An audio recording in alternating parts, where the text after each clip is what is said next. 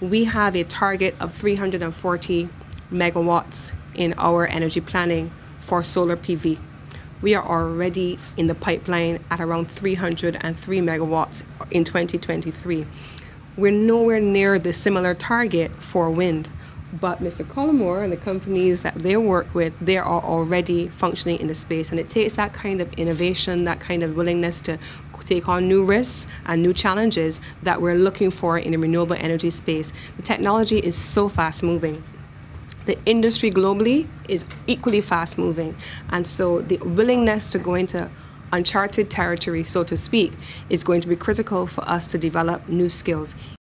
Renewable energy as part not only of our energy transition agenda, but as when we pair that with the climate crisis that we're navigating, and we're also pairing it with some of the issues that you have been seeing and hearing in terms of the rising prices of existing fossil fuels and what that has meant for the climate crisis on the one hand and for the energy crisis on the other energy transition on the other hand, you understand that these skills become even more critical and mining the data which will enable us to make better and more empirically driven decisions